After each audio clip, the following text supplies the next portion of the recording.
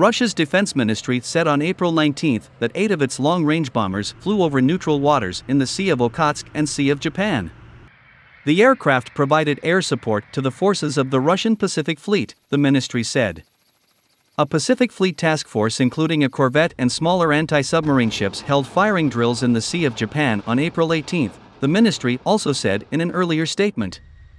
The training sorties and drills are part of a snap review of the Russian forces in the Pacific ordered by President Vladimir Putin, which started on April 14 and is set to last until April 22. Japan's Chief Cabinet Secretary Hirokazu Matsuno said on April 17 that Tokyo had lodged a protest with Russia over its military exercises around disputed islands near Japan's Hokkaido.